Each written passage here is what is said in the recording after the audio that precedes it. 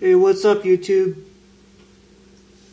Thought I'd share uh, my Ruger Mini 14 and how and how I personally have it set up. All the talk about assault weapons is in the air still, and um, this is one of the rifles that's in question whether it's an assault rifle or not, according to Dianne Feinstein's bill on gun control and weapons, assault ban weapons, or whatever.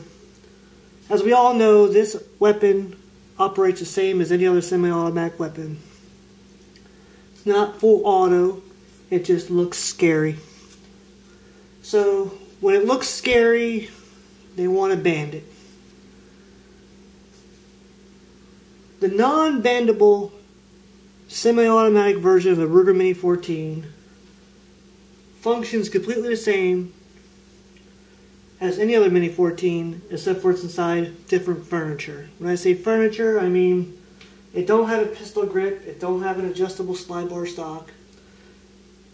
It's in a wooden, traditional looking um, Mini 14, you know, non-threatening furniture. So when you take the rifle itself out and you put it inside something like this, it's mean looking and it's an assault weapon. But anyway, I this is the uh, Mini 14 tactical version with the ATI adjustable six position stock. Um, guardrails everywhere. I'll go over everything real quick with you. But this is the way I bought the gun. Uh, besides the extras, uh, you can go on Ruger's website and see. This is how I have it set up. I thought I'd go over it with you since uh, assault weapons is so big in the air. I've had this rifle for over a year now and I've shot it. I mean, several. I don't know, 1,500 to 2,000 rounds. It's a, it's a beautiful rifle. Functions perfectly. I've only had slight problems with the Tapco mags a couple times. Now is with steel ammunition. The Ruger factory mags have worked flawlessly with steel and brass ammo. Basically, anything I fed it, it, it ate it. Um, let me show you the rifle. I'm going to take it up close. I'm going to sit down and show you how it functions and so forth. This is how I have it set up. It's got the flash suppressor on the front. It's got the post. I got a uh, BSA 160 uh, lumen uh, tack light on it on the side here. I got a forward pistol grip that is you can retract and hold on to it. Here's my BSA light, and I have the pistol grip uh, uh, trigger right here. Uh, I forget what the hell they call it. A remote control, basically. You press on it right here, and it has three different functions. I have it set up for right-hand carry, like this, so I can hold the forward grip and press the remote. The light comes on. It's got three different settings.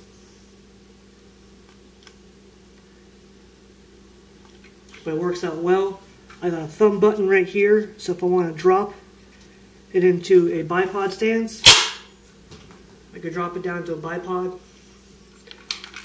The grip is removable off the bottom rail. I still have the top rail, which is nothing on right here, and another side rail over here because I want to mount something else. I got uh, sling mounts right here, sling mount right here, sling mount over here on this side, sling mount on this side, and another sling mount down here. So lots of areas where I could put different options on this. Like I said earlier, it's, it's an adjustable slot, an adjustable stock. You can put it in different positions wherever you want it. It's also got this rubberized recoil pad back here. It says ATI on it. This is a great stock, guys. Plus, it's also something you can do with this you can't do with, with an AR, which is one of the reasons why I picked up the Mini 14. you can go ahead and close this off. It locks. You have a pistol grip right here. So you can actually operate this in tight situations like this. And as you know, the 223 5.56 round isn't going to kill your recoil. So if I had to go through the house, I can go ahead and operate it like this.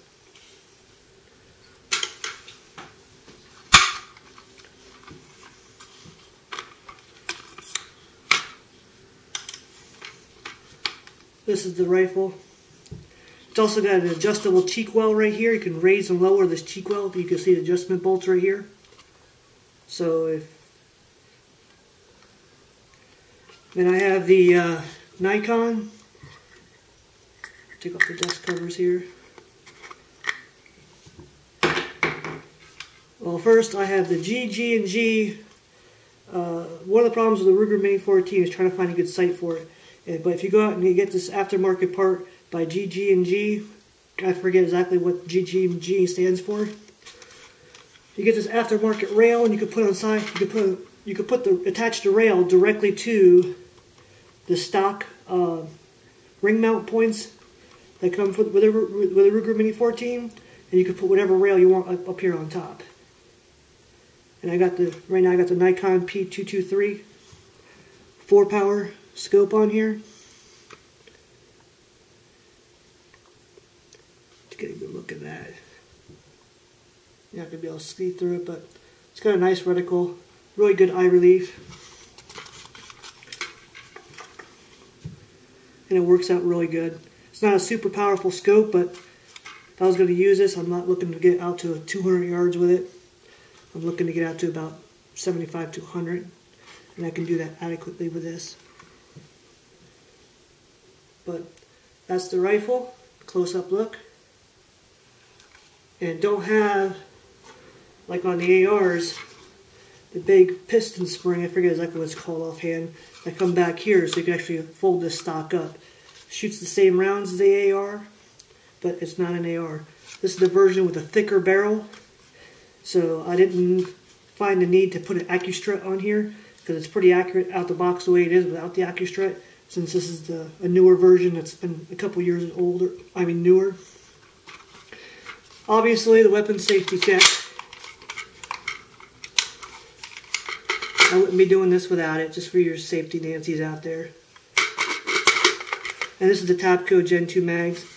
I actually modified these a little bit because they were a bit tight going in and out. So I roughed it down the, uh, the edges a little bit and took off that black coating. And it runs, and it goes, goes in and out real easy now. You load it up just like an AR, just like an AK. Has a drop down button right here. Trying to look through the viewfinder. That locks in there good. You can actually do fast mag changes on this if you get good with it. You have the when you have your rifle up, you can actually hold one mag in your hand I'm not going to do it because I want my mag drop on the ground. But you can actually hit this button right here, push that button forward, and it will drop the magazine with that one swipe. And then as you have the magazine right here and you push off on it, you can actually take this magazine and put right in. So you can actually have a fast mag change without a push button. It takes some practice, but you can get used to it. And it's an unloaded magazine just to show you. Now, Ruger also makes factory 30 round mags, just like the Tapcos, the 30 round mags. And they also make 20 round mags and 5 round mags. I think 10 round mags too. I don't have anything smaller than 20. But since reviewing purposes, I'm not going to be putting a loaded magazine in here for now. But that's the operations of the gun. You have a safety right here in the front, just like every other Mini 14. So you don't have a switch up here like an AR. When you load it up, push that safety forward and your finger's already on the trigger. You don't have to mess around with no button. Those are the comparisons to an AR. I think ARs are great too. Mini 14s are just as good in my opinion. Uh, you may not have as many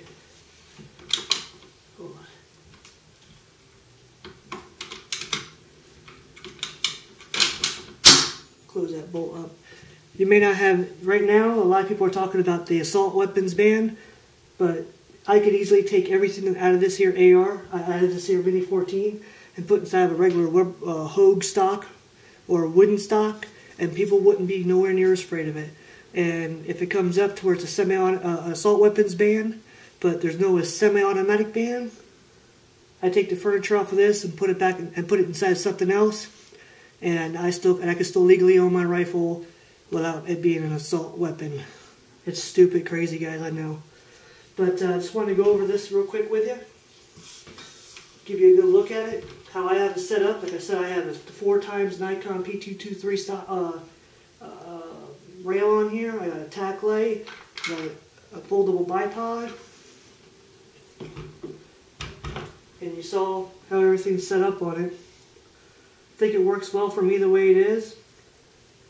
And I want to give you guys a look. This is your best AR alternative, in my opinion. If you're looking to shoot a 223 5.56.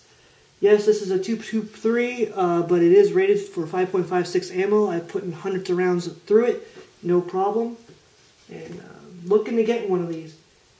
This particular rifle, without any of the extras on here, cost me 600 bucks. The bipod uh, foregrip cost me, I think, 25. The scope, I think, cost me 125 or 150.